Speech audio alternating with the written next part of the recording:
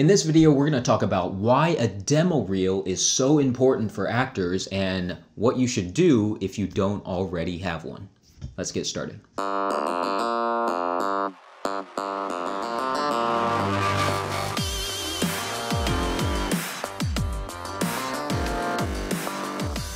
What's up, my fellow actors? Welcome to the Acting Career Center, here to help you learn the skills you need to break into the film and television industry. My name is Kurt Yue. Thank you so much for spending some time here with me today. If it's your first time here, make sure to subscribe to this channel to get more videos on acting, auditioning, and career advice. Now, before we get started today, I just want to share a few updates. I know some of you like me to update you on what projects I'm working on, so I've had kind of an exciting week of things getting released that I've worked worked on earlier this year. So, number one is uh, the show Ordinary Joe. I worked on episode four of it that just aired uh, this past Monday on NBC. I played Dr. Cho on that show, and if you didn't get a chance to catch it live, you can watch it on NBC.com right now or on PeacockTV.com. So check that out, and maybe I come back in future episodes. So You'll have to tune in to find out. In addition to Ordinary Joe, I also have a few projects that I worked on just just dropped on streaming networks. Number one is a show called Dopesick on Hulu. I also play a doctor on that show, and uh, I'm in episode three of that.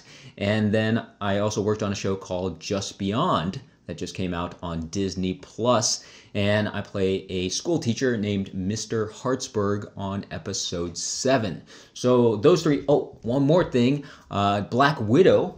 Right there, just dropped on Disney Plus for all subscribers for free. Basically, if you're subscribed to Disney Plus, you can now watch it without without paying a premium fee. So, if you want to watch me anywhere other than YouTube land, you can check me out on either Ordinary Joe or Dopesick or Just Beyond or Black Widow on any of those platforms. Oh, and if you remember in my video where I talked about Black Widow, I said that three of my four scenes got cut from the movie and you only got to see me in one scene. Well, guess what? The other three scenes made it into the deleted scenes on Disney Plus. So if you go into the extras and you watch the deleted scenes, you may see me a few more times. So I didn't lie to you. I did not lie to you in that video. All right, let's get into this video today, which we are going to be talking about why a demo reel is so important for actors, and if you don't have a demo reel, what you should do. So why even have a demo reel, right? Well, what is it used for? Well, in this industry,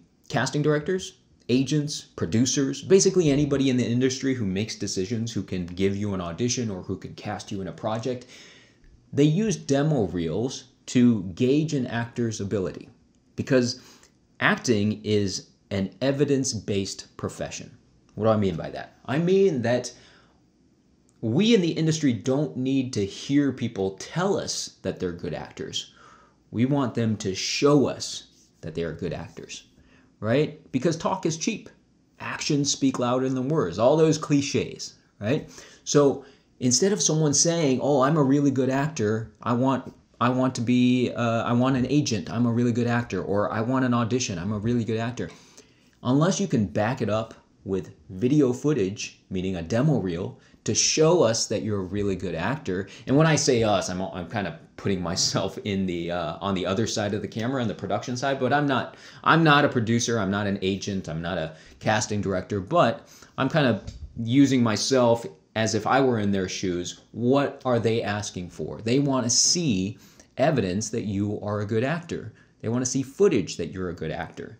So if you don't have anything to show, then they're just going to move on. They're going to move on to the next person who has a demo reel who can show them.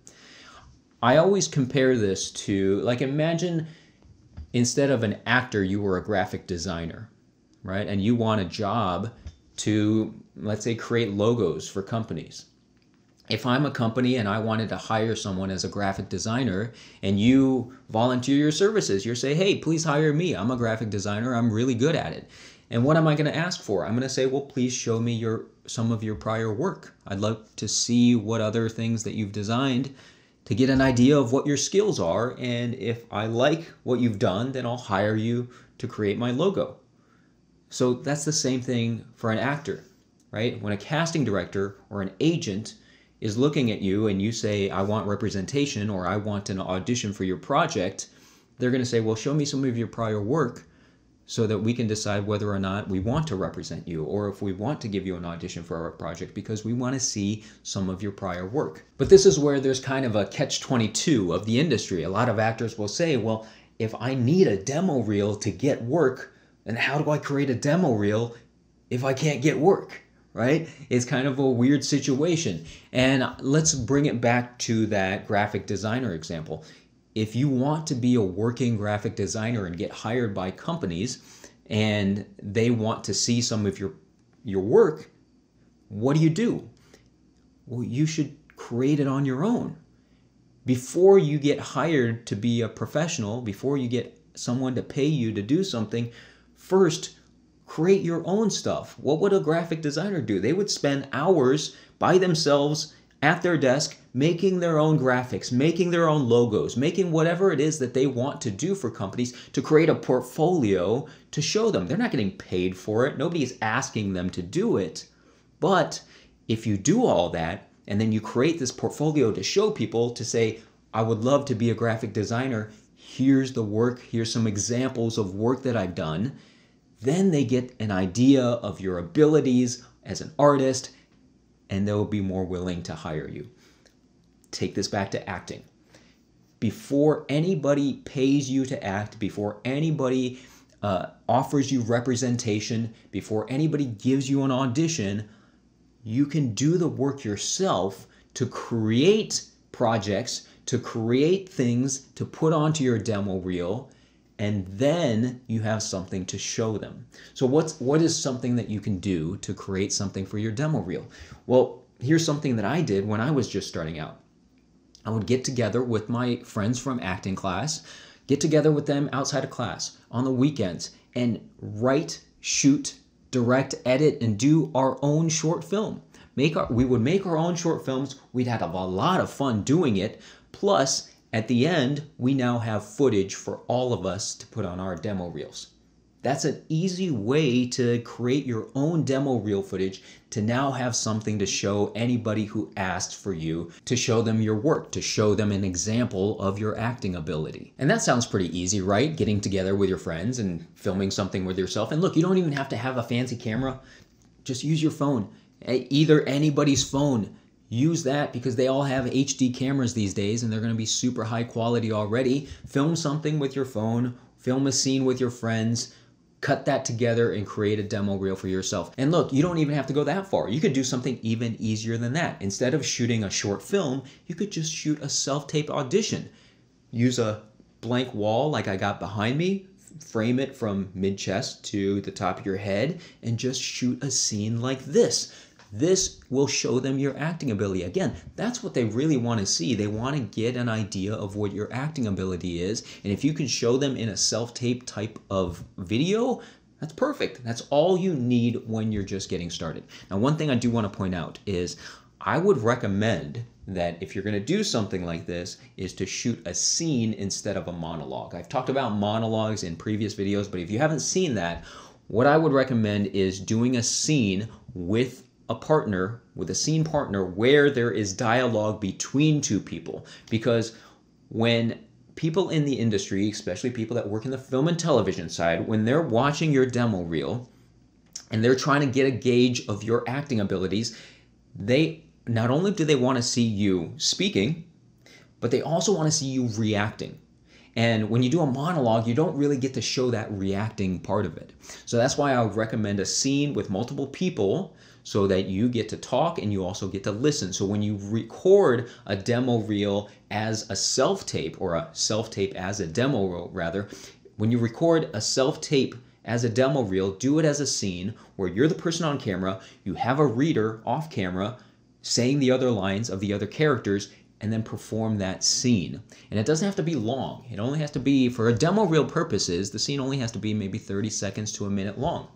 Because all they need is a short little piece uh, to see your acting ability. And remember, this is just how you get started. This isn't your demo reel for the rest of your career, but this is your beginner demo reel to show people your acting ability. Eventually, you'll be doing more stuff. You'll be doing maybe a student film or indie projects, and you might get better scenes than what you created on your own, in which case you can replace it or add to it. Add to your demo reel with your new footage. And this is something that you're going to do throughout your career. You'll eventually add to it and replace stuff with better things. My current demo reel is a collection of projects that I've worked on in the past few years here in Atlanta, but that's only been the past few years, right? It, it, wasn't my demo reel in the beginning. In the beginning, it was the, the stuff that I created with my friends, and then it was student films and indie projects, and maybe the first few things I booked through my first agency in Ohio. And then coming down to Atlanta, I put on a few more projects and then I got rid of those and added better projects that I've worked on. And so if you want to see my current demo reel, you can go to my IMDb page and it's right there. I'll put a link to it down in the description below. And now that you've created a demo reel, where should you put it so that people can find it? Well, number one, I would recommend putting it on your actor website if you have one. If not, use your casting profiles like Actors Access or Casting Networks or Backstage. This is these are the websites that industry professionals will go to to check out what you've done, uh, especially here in the United States. I know in other countries they may use different websites. So put those on your casting websites in whatever region that you're in. And then uh, I would also recommend putting it on your IMDb. If you have IMDb Pro, you can put your photo up there, you can put videos up there. So if you have an IMDb Pro account, put your demo reel on there like I've done with mine. Otherwise, you could just simply put it on YouTube. Create a YouTube link with your video, basically what you want, whether it's a website, whether it's on it's on uh, your casting profiles or it's on IMDb or it's just a video on YouTube. What you want is that whenever somebody in the industry, be it a uh, an agent or casting director or producer or director or even an acting coach or anybody in this industry, if they ask for it, you should be able to give it to them right away. You should be able to say, okay, let me email you a link or let me text you a link.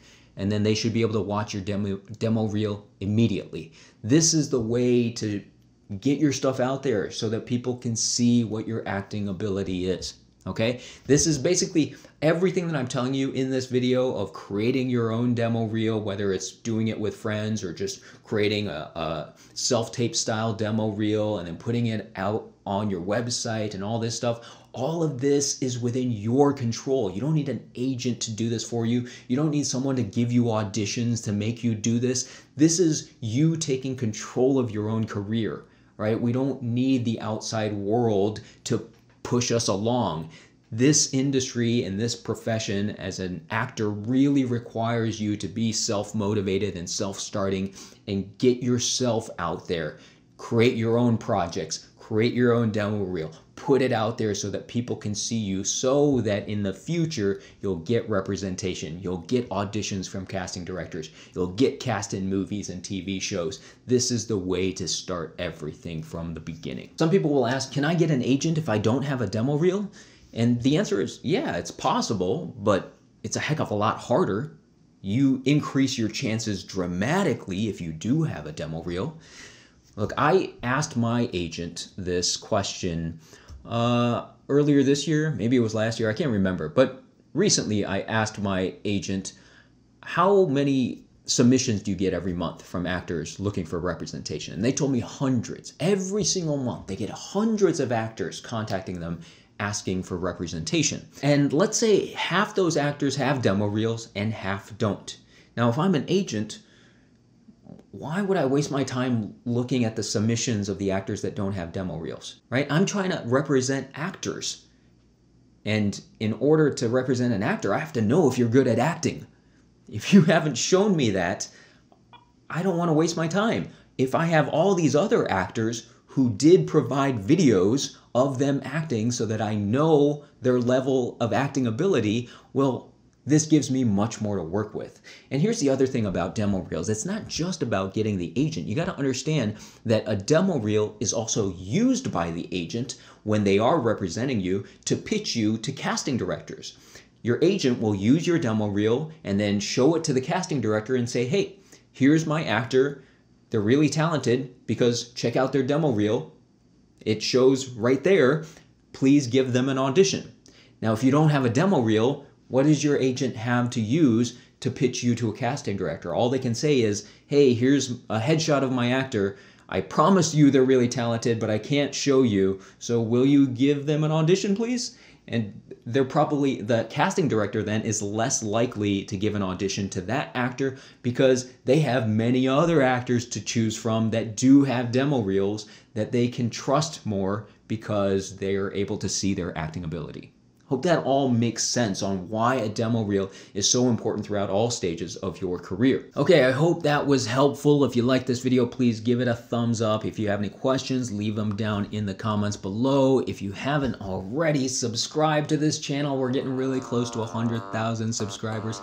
And until next time, keep practicing, keep learning, and I hope to see you on set one day.